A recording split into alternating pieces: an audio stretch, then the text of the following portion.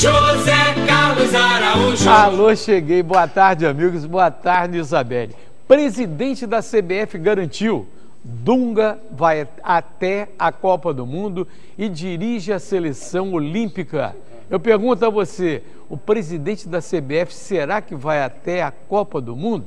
Pelo menos não foi o Chile para evitar aquela concentração lá nos Estados Unidos. A mesma coisa acontece com o Flamengo. O vice-presidente de finanças é quem fala pelo futebol e garantiu: Cristóvão está garantido, vai ficar até o fim, mesmo que haja derrota. Você acredita? Primeiro destaque do cartão vermelho é dele, Gilson Ricardo. Cartão vermelho, garotinho, pra briga de torcidas de Flamengo. Você acredita que os caras brincaram lá na Arena Pantanal, em Cuiabá? É. Saiu uma briga lá dentro dos caras, tem nego preso, o cara deu com a barra de ferro na cabeça do outro. Lá, aqui brigam. Aí vão, ah, vamos jogar em Cuiabá. Lá brigam. 14 mil pagantes, fiquei até surpreso com o público, foi quase ninguém no jogo, né? Flamengo e Vasco para 14 mil, e os caras brigaram na rua, quebraram tudo, saíram no pau.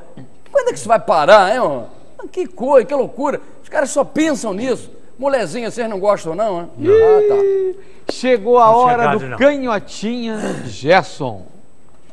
Muito boa tarde, garotinho, boa tarde, amigos. Eles não são chegados. Não, não são. A isso não. Agora, tem gente que gosta. É. Né? E, e, já não pode mais. Tá bom. Que é o meu caso. Muito bem. Agora, olha aqui, é o nosso, né? Nossa, não. Ah, se inclui também. É, olha aqui, é, falar. Toca teu barco, mano. Tô tocando. Assume, né? É, tô tocando. É, pô. Tô remando aqui. Mas tá tudo certo. Agora, em compensação, a arbitragem é uma brincadeira. Lá e aqui. Aqui e lá. O cara faz lambança, a gente fala sempre nisso. O cara faz lambança, vai apitar o clássico domingo seguinte. O cara faz lambança, é capaz de apitar a final da Copa América. É. Isso em tudo quanto é lugar. Vai apitar hoje. E um detalhe, vai apitar hoje. E um detalhe: o jogador tem que ficar atento. Você não pode hoje mais olhar para o cara. Se fizer gesto, cartão vermelho. Se discutir com o cara, cartão vermelho. Se tropeçou, cartão vermelho. Bom, tá certo. E eles? E eles? Que fazem lambança todos os dias, todos os momentos, são suspensos, rasgam a suspensão e botam eles para apitar de novo. Tem alguma coisa errada aí. Eu acho, tenho nada com isso, mas acho que o sindicato de jogadores, a associação de jogadores, tem que entrar também, né? Com um detalhezinho lá para esse monte de gente aí fazendo besteira. Disputado por Vasco e Fluminense, Ronaldinho Gaúcho deve ser apresentado por time da Turquia nos próximos dias. Pelo menos é isso que diz o presidente do clube. Entenda toda essa história rodando VT. Eurico Miranda afirmou que Ronaldinho Gaúcho estava 90% certo no Vasco, mas o presidente de um time turco já deu como certa a contratação do jogador. Assis, irmão e agente de Ronaldinho, disse que ainda está ouvindo propostas e que não tem nada confirmado. Além do Vasco, outro clube carioca está de olho no meio-campista, o Fluminense. A contratação, que antes era considerada complicada, agora é vista com muita animação pelos dirigentes do tricolor. O vice de futebol do Flu, Mário Bittencourt, chegou a afirmar que Ronaldinho Gaúcho é o jogador que todos gostam. E agora, qual camisa o craque deve vestir? Olha, o Ronaldinho tem o melhor empresário da praça no momento. É o irmão dele, o Assis. Ele correu aqui, correu ali, avisou, todo mundo ficou animado, nego anunciando e tal. Ele acerta com o Antalya Sport, lá da Turquia, que é o time do Etor. Então, é, de repente, o cara ele falou, vai jogar dar grana. Quanto custa? X. Ele quanto... procurou saber. Primeiro é, o Assis foi Paga lá, quanto? Tem casa noturna? Tem. Então tô dentro. Tem grana? Tem. Então tô dentro. Né, Gilson? É o Ronaldinho Gaúcho, Zé Carlos, ele está em final de carreira e está aproveitando esse final de carreira para arrecadar mais. Agora, ele, você viu ali, ele, no Barcelona ele foi um negócio de maluco, ele jogou pra caramba. Apareceu o lance ali, é, é brincadeira. Depois não é só isso não, você leva o DVD das grandes jogadas do Ronaldinho Gaúcho, é. tanto no Barcelona, ou nos times por onde ele passou. Mas o mundo todo viu isso, é, né? viu isso e, e ele não tem nem de DVD. Não é, Gerson? É, e também tem um, um negócio. Eu, eu sou fã dele, acabou o é, problema. Eu também. Mas também tem uma coisa, ele pode levar dois, duas Como é o nome disso? DVD, fitas. querido. É, dois DVDs da minha época. É, Do- pois é. Duas fitas. Na minha época é fita. É. Na sua também. Não. Então, dois DVDs. Um das boates e tal, né? Do show que ele dá na boate e do futebol. É. E Porque por de em- piores momentos no futebol não tem. Não tem. Mas na boate também não, Não, tem. não, não. Ele leva, Pô. ele vai pra dentro, acabou o problema. Agora, tem um detalhe importante. Nesse, nessa fita que passou aí, esqueceram de botar na seleção brasileira. Aquele jogo contra a Inglaterra. Aquela falta. É, e Não, contra a falta, Venezuela drible, também, contra a o drible. Venezuela. Ele driblou três numa gigada só. Ele é brincadeira, não. Será que isso aí faz com que a gente repense em termos de seleção brasileira? Por exemplo, Kaká está jogando nos Estados Unidos. Kaká joga mais do que esses caras que estão jogando aí na seleção? Tá jogando joga. bem. Ainda joga. Jogando bem. Ainda joga. Eu não- Se seleção É. é. a reunião dos melhores no momento, a filosofia Agora é do, renovação. a filosofia do Dunga Agora é tá certa. renovação, É. querido. Renovação. É, mas olha aqui, não é para qualquer treinador, não. É. Treinador De currículo, cara. É currículo. Ah, mas ele é ruim. Interessa. Ele é treinador? É. Então, tá tudo Tá certo. dentro. Quem não é, não é. Você sabia, o atacante Bill está fora do Botafogo. E a decisão foi tomada pelo próprio jogador e você vai entender a história. Tem um negócio de familiar aí. Roda VT. Após quase seis meses jogando pelo Botafogo, o atacante Bill pediu a saída do time. Em mensagem enviada para os companheiros de equipe, o jogador agradeceu o carinho e disse que voltaria para se despedir. Bill alegou problemas pessoais, além de propostas de times do exterior. E o clube não se opôs à decisão. A diretoria já procurava outro atacante para compor o elenco após a queda de rendimento do atleta. Recentemente, a ex-mulher do jogador pediu proteção à polícia após ameaças feitas por ele. Com uma meta de 30 gols para a temporada, Bill marcou apenas 11 em 28 jogos. Em nota no site oficial, o Botafogo informou que a rescisão de contrato será feita nesta quarta-feira. E o Botafogo ajeitou aí o negócio, agiu o presidente Carlos Eduardo Pereira com bom senso e principalmente com uma camaradagem muito grande, né, Gerson? Eu, eu achei, eu achei de uma, né, uma lisura, uma correção, presidente. Sentiu o drama do, do Bill, problema familiar, que é complicado, que é complicado. Ele tem que resolver o problema dele. Ninguém pode se meter nisso. Não estava jogando bem. Exatamente. Talvez por causa do, do problema sério. Então, o que acontece? O presidente viu corretamente, disse, ó, então tudo bem, está liberado, vai tratar do seu problema. E o Botafogo recebeu Correto. agora o Rafael Oliveira, que é aquele centroavante do Botafogo da Paraíba. Isso. Fez um estrago aqui diante do Botafogo. E tem um garoto Luiz Henrique lá da Sub-17 que também Que subiu. foi né? artilheiro. Foi. Foi artilheiro. É um bom jogador também, artilheiro. Então tem um garoto e tem esse rapaz que também faz gols, é, cara, que é muito bom. O Bill, infelizmente, no Botafogo, e não jogou isso tudo que a galera esperava Não dele. deu liga. Não, é, não deu, não deu liga. O, esse presidente do Botafogo é um cara espetacular, né, cara? Depois, e ele tem uma ONG só de pegar cachorro, não. Ele vê cachorro na rua e fica doido. Vai lá e pega e leva pra casa. Nós temos um amigo assim presidente. também. É verdade. Nós Se eu pudesse, levaria assim. todos. Um mês após assumir o comando do Flamengo, e não é que Cristóvão Borges já está sendo questionado internamente. Saca só. Com apenas seis partidas à frente do Flamengo, a situação de Cristóvão Borges começa a se complicar.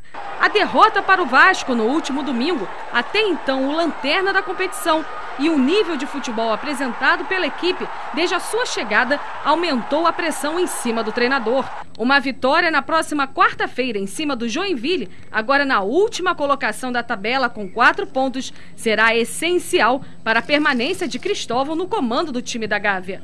Caso contrário, o técnico poderá seguir o mesmo caminho do seu antecessor, Vanderlei Luxemburgo. O Flamengo está na 17ª posição e abre a zona do rebaixamento com sete pontos conquistados em nove rodadas. Ô Gilson, o Cristóvão chegou mal no Flamengo? Chegou.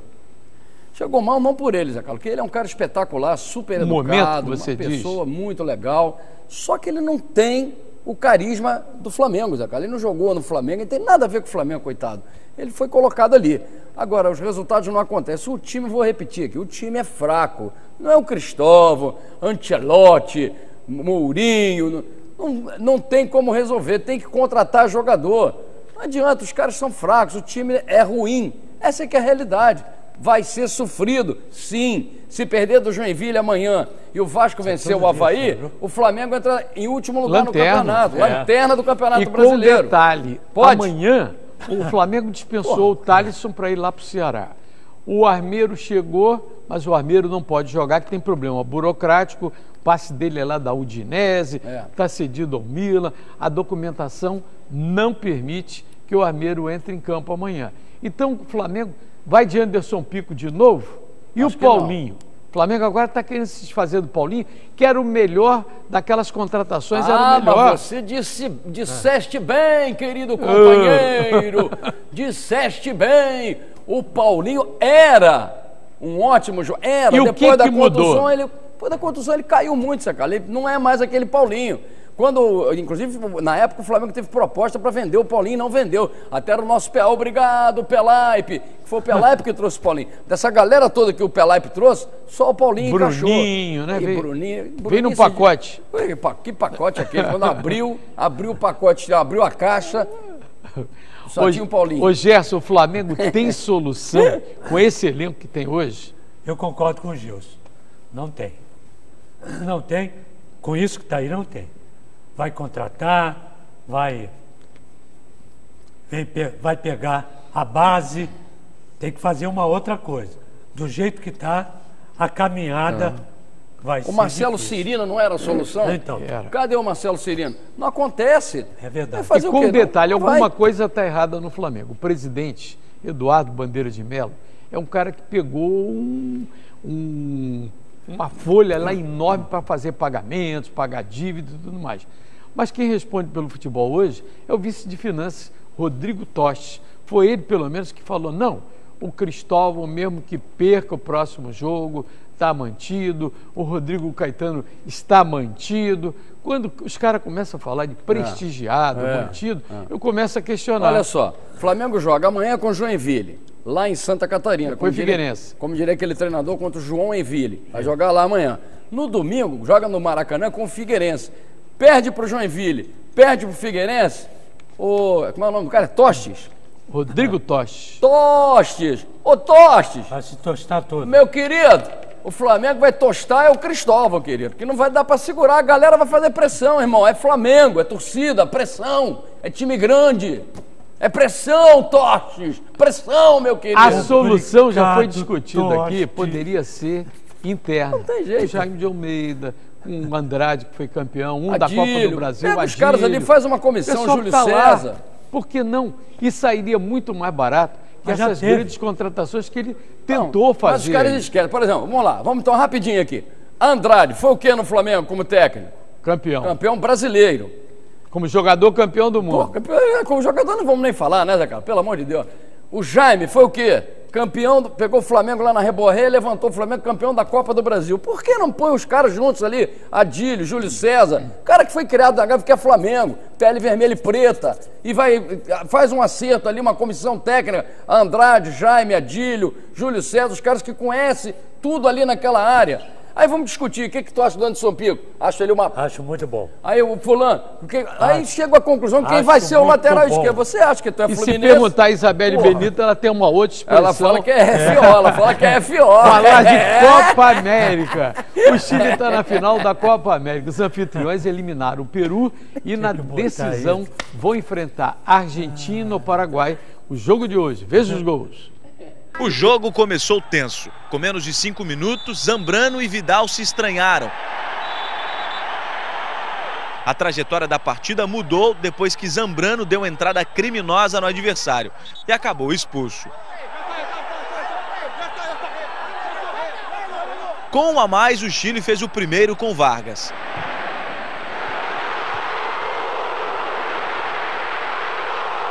O próprio Vargas chegou a mandar mais uma para o gol, mas o Bandeira assinalou incorretamente o impedimento. Melhor no segundo tempo, o Peru empatou com este gol contra do zagueiro Medel.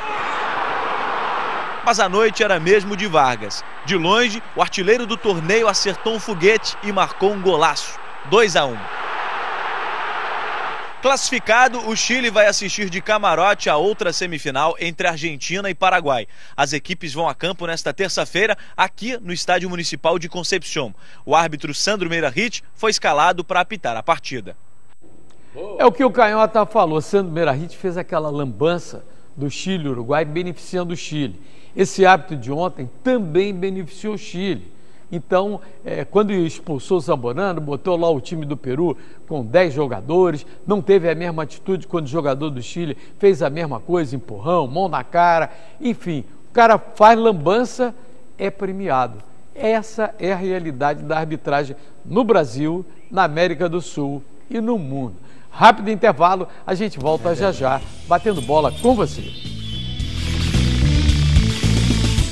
Chegou a hora do recado final do Gilson Ricardo. Então, vamos ver hoje se o Messi vai arrebentar na Copa América. É o que temos para ver, querido. E se o Sandro Meirahit arrebenta com a paciência da gente. A última do Canhotinha. É verdade, mas se o árbitro de hoje, nosso querido brasileiro, não apitar legal, vai ser Flórida para explicar isso. Amanhã, depois da Isabelle Benito, Isabelle novo Benito. encontro batendo bola. Boa tarde para você.